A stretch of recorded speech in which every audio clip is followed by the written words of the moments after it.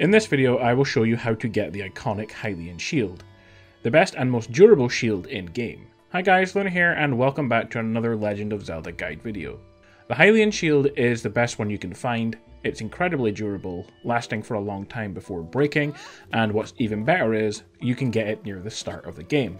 However, if it does break, I'll show you where you can pick it back up for rupees. To begin with, you play through the game and get past the initial Sky Islands, and you will enter into the main Hyrule area and Lookout Landing. The first quest you do here is to go to the castle, which you can see close by in Lookout Landing, and it's here you will find the shield. Climb up the castle and make your way to the north side of the wall, right here on the map where I am.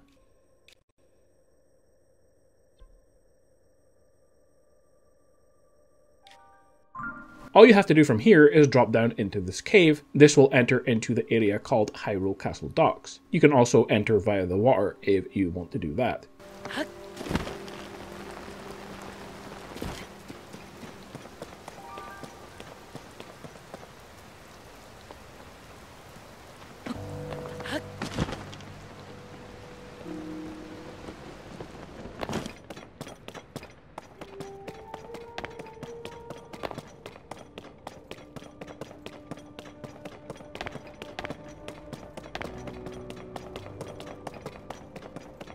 Once inside, all you have to do is light this torch here, and you will get rewarded with the best shield in game. Super easy, quick, and you can get this in your first few hours of gameplay.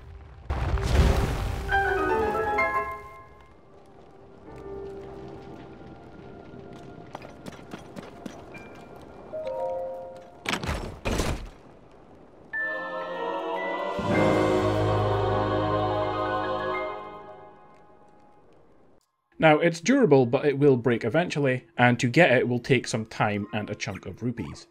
Head to Hateno Village and talk with Cece. This will start the series of quests culminating in the mayoral election.